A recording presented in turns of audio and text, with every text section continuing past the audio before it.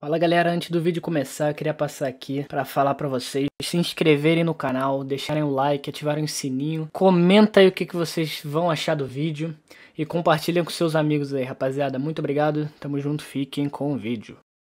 Nossa, Nogueira, o que, que você fez? Pra mim não bateu. Caralho, Nogueira, você matou o cara. Eu tenho um elastômetro aqui, elastômetro aqui. Bom, enduro, Liga o indivíduo aí de vestido, de vestido divisão pela equipe. Indivíduo Pulou na cabeça dela pra trás. Nossa! Bora, Joe!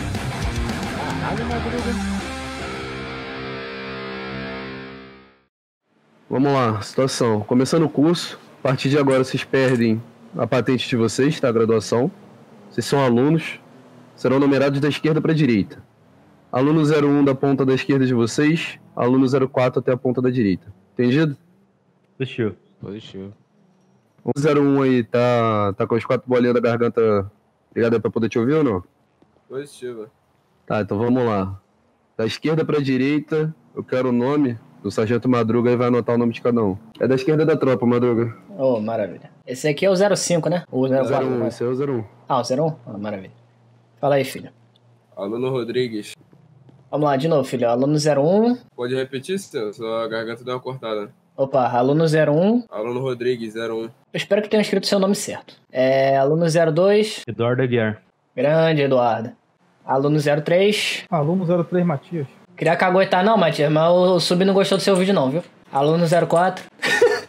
Aluno Mendes. Correto, todo mundo anotado. Maravilha, foi todo mundo, Madruga? Foi. Oxi, que... É o coronel? É o coronel mesmo. Eu olho pro lado e vejo um paisano olhando pra gente. Ô, ô Madruga, pega tua moto lá. Deixa aqui do lado cara. da minha. Então, tudo será cronometrado. O tempo dos senhores vai valer como nota, tá? Tudo que os senhores fa- farão aqui. Haverá requisito de nota. Será tudo avaliado, pontuado. Vai ser tudo avaliado aí em relação de nota. Tá? Nota de corte 7, tá? A nota de corte é 7. A gente deve ficar aqui um- uma hora e meia, quase duas horas aí no curso, tá? Que eu tenho que explicar para vocês direitinho o que é que é cada coisa, o que que o moto patrulha faz e qual que é a sua função em um acompanhamento, tá ok? Positivo. Então, beleza. Os senhores têm exatamente um minuto e meio para ir pegar a quantidade de lanche necessária e voltar em forma do mesmo jeito que tá. Volta, não falei pra ir? Você tá com pressa, mano? 3, 2, 1, vai. Como comprar refri ali também, né? Tem como comprar tudo ali. Ah, comprar depois, tô um pouquinho de cedo. Ô, coronel, vai acompanhar tudo de fora? Caralho, coronel, o senhor me deu um susto. Eu vejo a porra de um paisano olhando pra minha cara. Eu tomei, foi um susto. Rapaz, 30 segundos já se passaram. Faltou um minuto. Acho que um minuto e meio ainda foi muito. é, tinha que dar 5 segundos. Mais do que esse tempo suficiente. Alguém tirou o capacete. Ei, meu Só Deus do céu. Vai, Guerreiro me deu um soco. vai. Ai, O tempo, meu o tempo tá correndo. Ô, tenente. Tá com chiclete no pé, filho. Fala. Tive um espasmo ali, acabou esbarrando. Já no- explicou, já, vai. Ah, Segue não, vida. Permissão tomar aqui, ô, tenente? Comer e beber, você não tem que pedir permissão, não. senhor. Quero ter a vida de vocês na minha mão, não. Ó, falta 5 segundos, tá faltando dois guerreiros. Rapaz, nunca vi gente tão lenta assim Fechou pra comprar o comida, tempo. pô. Fechou o tempo. Ó, 1 minuto e 40. Se fosse um pedido de apoio, já, já teria morrido já. Ó, Ei, meu 1 pai, minuto e mano. 50. O que tá faltando é o 01 É e o 03. 01 ó. 03. O 01 e 03. 03, 20 segundos atrasado. Quero ver a demora do 01. 40 segundos atrasado.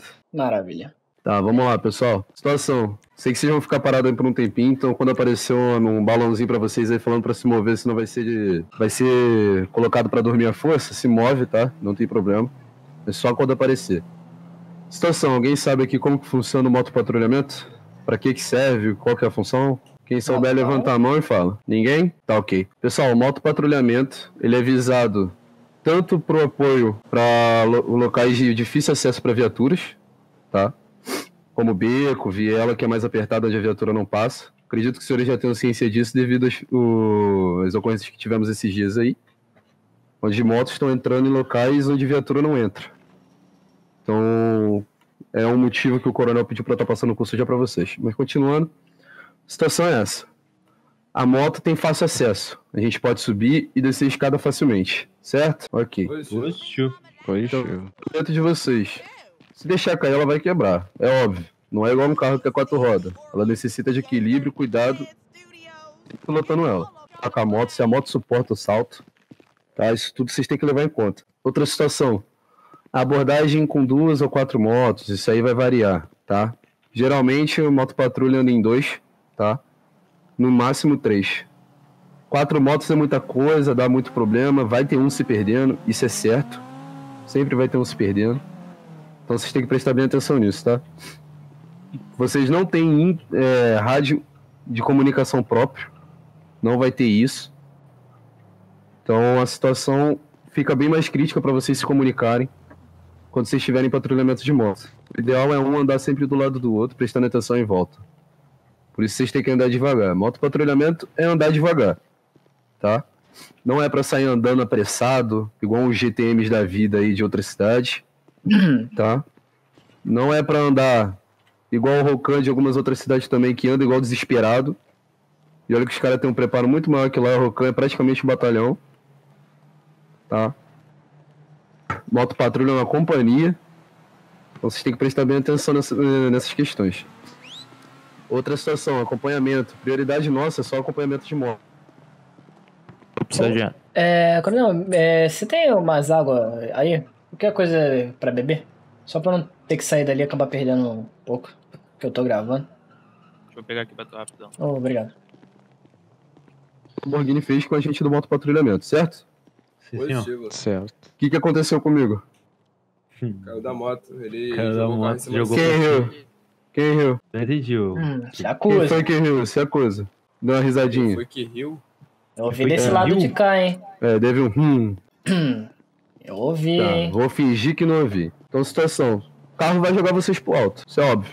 Mas ele sabe dos riscos que se jogar um motopatrulhador pro alto, ele vai ser chumbado de bala, tá? O que acontece? É exatamente o que eu falei em acompanhamento de veículo 4 rodas. Obrigado. A viatura não passa, abre. Eles vão abrir pra gente poder entrar com a moto. A gente vai assumir a prioridade a de quatro rodas chegar. Tá, um exemplo desse beco é o beco ali da praça, da garagem da praça. Acho que exceto o Corolla e o Versa, né? Ou, ou eu tô errado? Isso, os dois passam. Tá, exceto esses dois veículos, Ranger, Hilux e o Ford K não passa. Tá? São as únicas viaturas que não passam, então vai pegar aquele beco, vocês vão ver que o cara vai pegar aquele beco e já vai atrás que nem doido. Mas tomem cuidado com a freada do carro, da moto, para não ser derrubado, tá? Em relação a falar agora sobre a moto, a moto pilotar a XRE 300, tá? 300 cilindradas, como já diz o próprio nome. Ela tá pegando aqui na cidade de 190 a 200 km por hora, o que é uma velocidade considerável, certo? Positivo. Maravilha. As motos que estão na rua, motos dos paisanos, não são tão rápidas assim. Fala, cabo. Tá atrasado, né? Aquele problema lá que eu te falei lá. Maravilha, vai lá se fardar então. Capacete preto, vai. E pega a moto.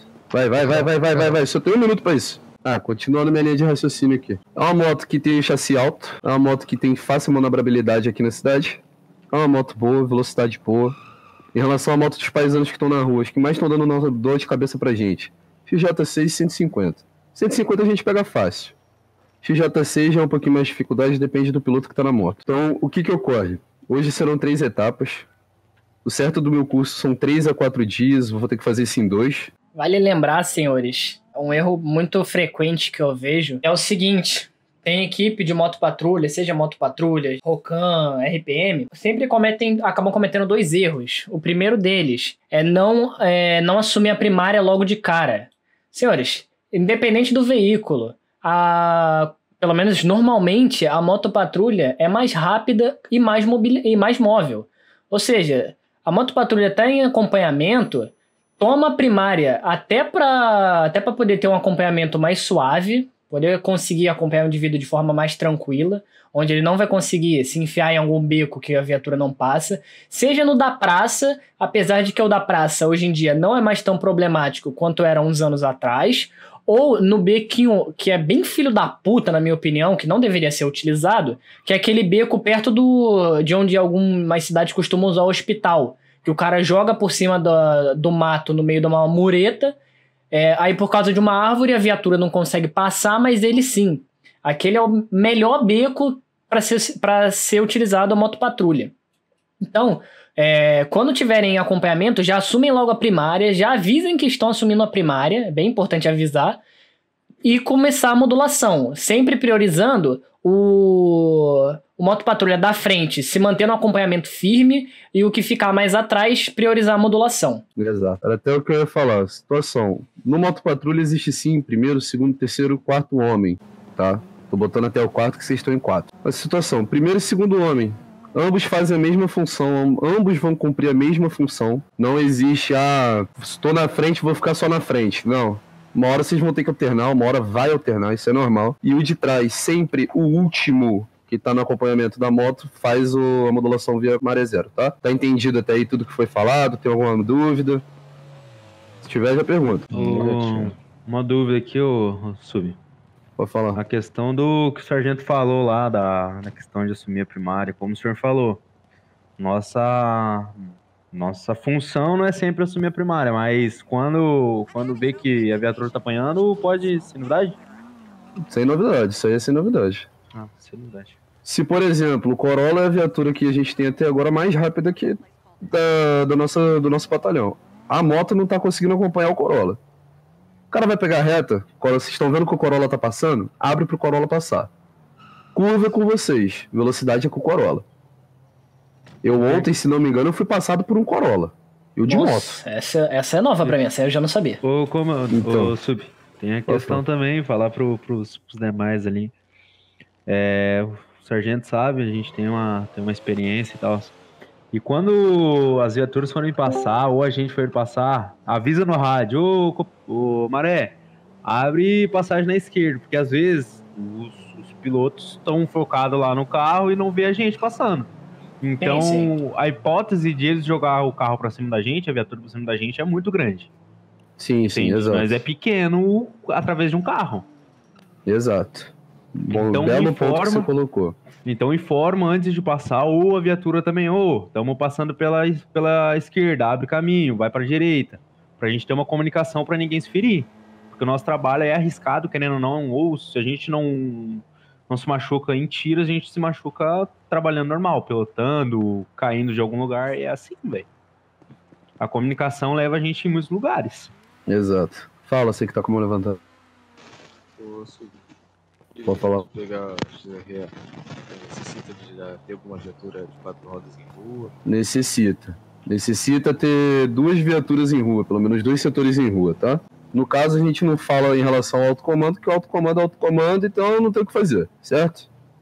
Positivo. Oi, tio. Então, maravilha.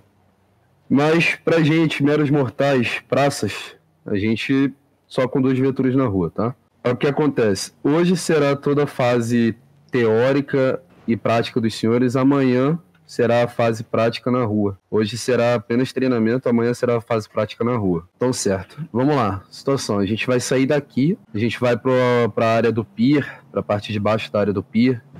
Vou passar para os senhores um trajeto que é para ser feito. Façam com calma, treinem com calma. Vou dar 30 minutos para os senhores treinarem. Depois disso, vai ser cronometrado o tempo de vocês, do início ao fim, tá? E 30 é muito, hein, Pereira? Pra Eu treinar, sei. 30, para treinar, 30 minutinhos tá bom. Trajeto novo, recém-planejado. dá pra colocar 15, hein? Vamos ver. Vamos ver. Passa, o, passa o CEP aí do, do local. Deixa eu ver aqui. É. 80. 805? 8, Calma. Tá dando um probleminha na tua voz, fala de novo. 805. Eu não sei porque tá dando problema na hora que você vai falar o terceiro número. 805. Oitavo, Aham, nulo, aham. nulo, quinto. Ah, tá. Esse segundo nulo não tava pegando. Tá, Na relaxa que eu parte tava da falando esquerda errado. ou da direita? ô, Da esquerda do pier. Sim. Tá? Ô, coronel, fala pra ele vir que eu já vou sair com o pessoal aqui. Ele tá perdendo muita coisa já. Senão ele vai ficar pra trás. Quero nem saber. Ah, Já foi formado coronel sobre um já. Então tá. Aproveitando o espaço em branco enquanto o bisonho tá demorando lá atrás, essa parte já é mais questão de mistério, só pra ficar bonitinho pro povo. Mas conforme vocês forem patrulhando juntos, lembrem, óbvio, em uma situação ah, que vocês estiverem com a adrenalina a mil, vocês não vão parar pra pensar nisso. Mas quando tiver uma ocorrência assim, só pra parar, encostar em algum lugar, lembrem-se de sempre virar o guidão pra um lado. Vocês, vocês decidem pra qual lado vocês querem, mas sempre faz todo mundo junto. Sempre pro mesmo lado. Pra quem não sabe como é que deixa o guidão parado, separa a moto, desliga ela e aí você desce com o guidão virado. Ela sempre vai ficar com, com o guidão virado pra onde vocês deixaram. Tá ok, eu vou dar um tempinho aí até o outro aluno chegar. E com isso a gente vai se deslocando pra lá. Eu vou na frente, o Sargento Madruga vai atrás os senhores vão um do lado do outro já treinando essa formação. Eu vou a baixa velocidade, não vou a alta, tá? Vou seguindo o GPS, espero que os senhores já tenham marcado o CP aí no GPS dos senhores. Eu vou devagar, não vou rápido, vou puxando vocês de forma constante. E outra coisa, senhores, eu até me esqueci de explicar. Prestar atenção sempre na, na hora de fazer as curvas, tá? Tenta olhar para os dois lados rapidamente para poder atravessar. Numa dessa aí vem outro, outra pessoa desgovernada aí, levanta vocês aí pro alto. É adeus, outro policial, eu não quero ter que enterrar nenhum de vocês. Tá? Então sempre que for fazer um cruzamento aí, presta atenção. Coronel? Pois não, soube aqui, eu trouxe até uma parada aqui pro senhor aqui, ó. Se algum monstro fizer. Puta que pariu. Presentinho bom, quer ver só? Aí, ó, presente. pra te agilizar aí, ó. Opa, coronel. Provavelmente vai acontecer, viu? Não vou mentir pro senhor, não.